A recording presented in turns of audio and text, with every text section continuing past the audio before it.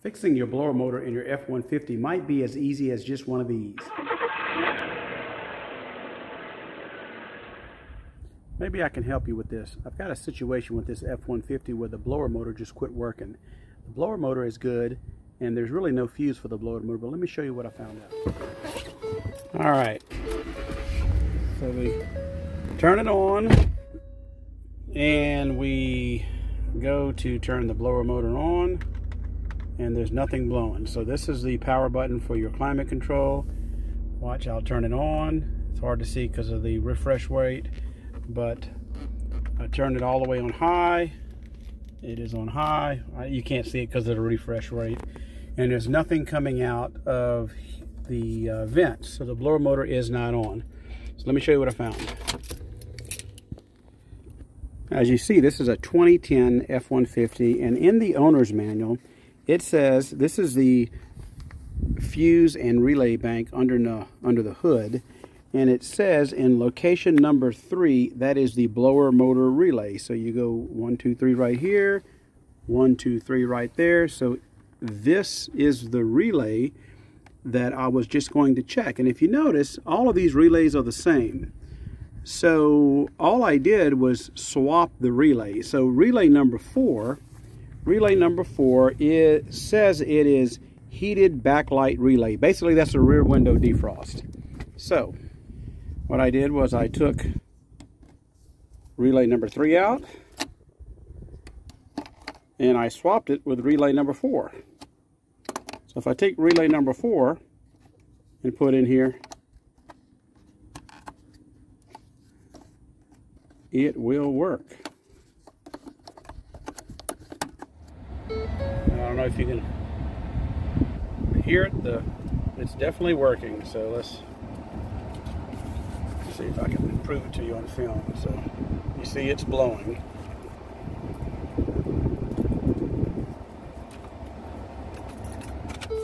So we obviously have a bad relay on relay number three. Well, now the bad relay is on relay number four. So what I did was I went to the Ford dealership and I purchased the relay.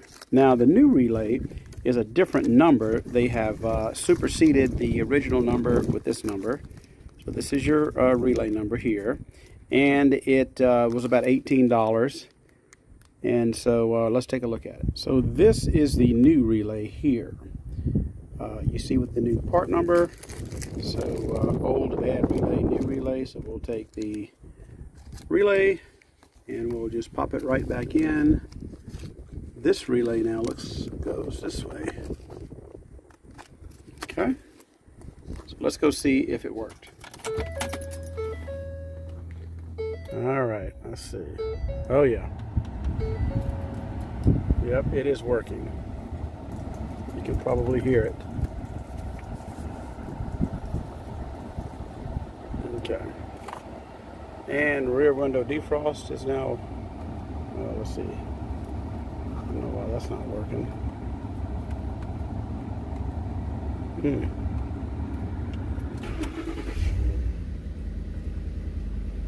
There we go.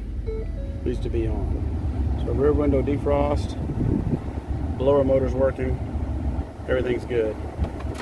So just the recap, if you've got an F-150, I don't know, it doesn't matter what year, probably um, 2008-ish forward, and your blower motor quits working, then check with relay number three, but verify in your owner's manual that it is relay number three for your blower motor.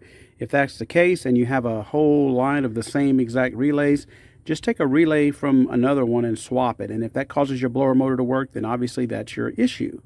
And if that's your issue, uh, and, and of course you have a 2010, go and buy this uh, relay number because you will not be able to find these relay numbers. I looked on Amazon and everything. So when I went to the Ford dealership, they said it was superseded by this number.